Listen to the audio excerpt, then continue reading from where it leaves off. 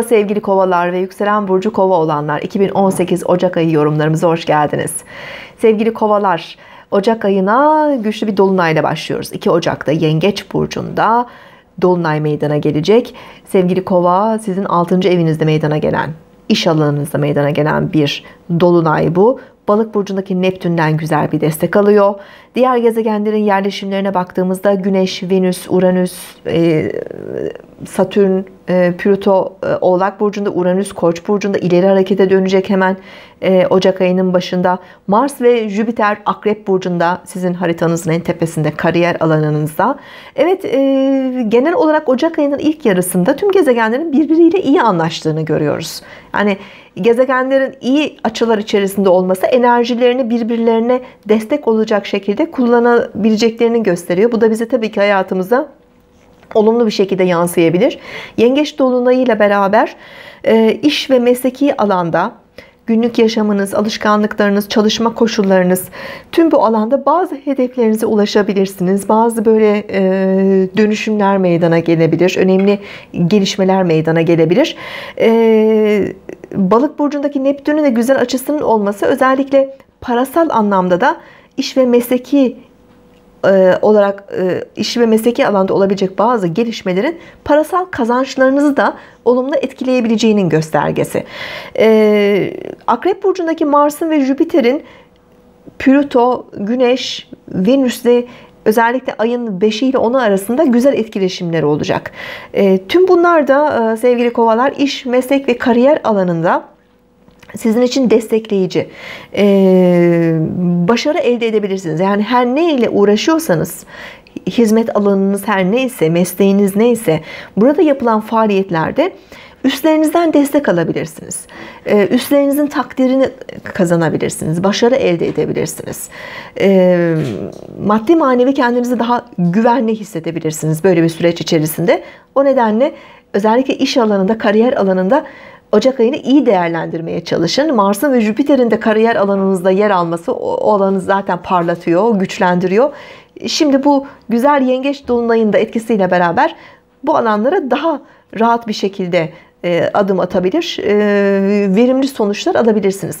Bir yandan da sağlıkla ilgili düzenlemeler yapabilirsiniz. Günlük hayatınız, bakımınız, e, bunlar beslenme düzeni olabilir. Herhangi bir ilaç kullanıyorsanız bunların kullanımı olabilir. Spor gibi konular olabilir. Çalışma saatleriniz olabilir. Tüm bunlarda da bazı ayarlamalar yapacağınız Hani sizi daha başarılı, daha huzurlu, daha rahat kılacak, hayatınızı daha düzenli, daha verimli hale getirecek bazı ayarlamalar yapabileceğinizin de işaretçisi. Evet ayın 11'inden itibaren Merkür e, Yay burcundan ayrılıp Oğlak burcuna geçiş yapacak.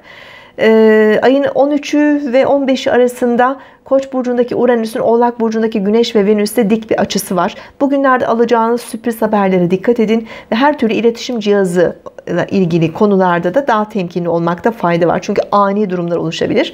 Bazılarınız da e, internet, sosyal medya, bilişim sektörüyle ilgili bazı fırsatlarla karşılaşabilirler.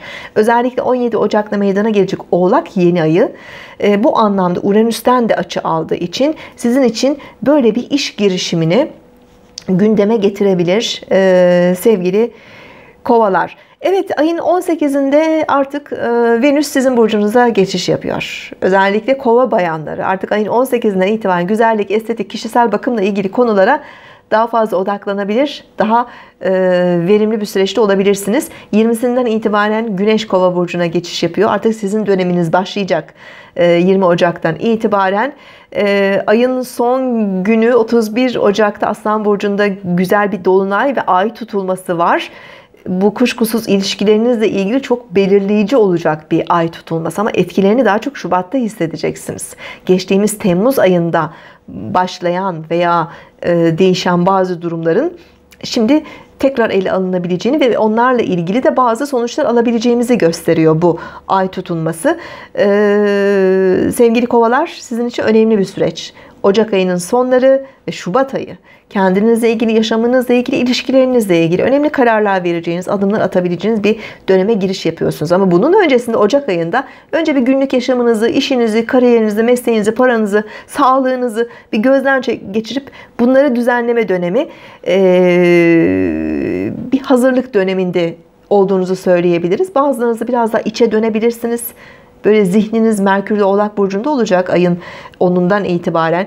Zihniniz biraz daha içe dönük olabilir ama Merkür Oğlak Burcu'nda yararlıdır. Hani plan yapmak, program yapmak, e, detaylarla ilgilenmek için iyi bir süreç. Özellikle projelerinize odaklanıp yalnız başınıza bazı işler, projeler üretebilirsiniz ve ay sonundan itibaren o tutulma enerjileriyle beraber artık dış dünyaya açılıp daha rahat kendinizi ifade edebilir. Gerekli destekleri de sosyal hayattan toplayabilirsiniz sevgili kovalar. Mutlu ve başarılı bir ay dilerim. Hoşçakalın.